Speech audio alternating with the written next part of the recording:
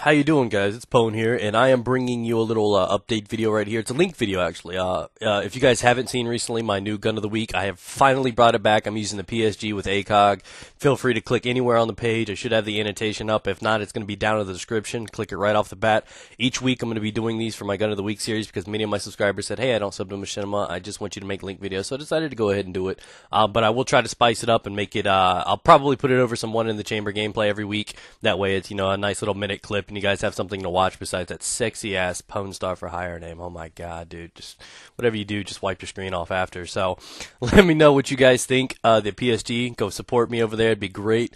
Um, I am finally married, guys. I'm excited. Thanks for the patience over this weekend. I'm sorry I didn't get any videos together for you guys. I will have one up tonight. Um, it'll probably be Modern Warfare 2 or maybe even some World of War. You guys let me know what you want to see. I should be able to unlock the nuke finally tonight, so I might get some nukes together. Let me know what you want to see. You want to see SPAS gameplay, all that stuff.